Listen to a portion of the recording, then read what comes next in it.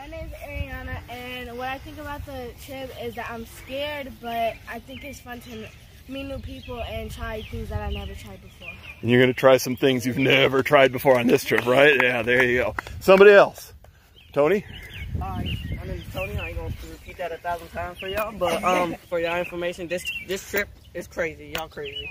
I don't know why I'm even- You're doing it too. You're crazy. I'm not crazy. I don't know why I'm doing it. I'm just saying y'all crazy for who who who, who made the trip, who, who thought of the trip.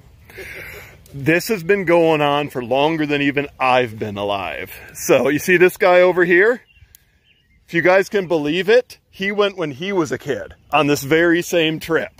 So there you go.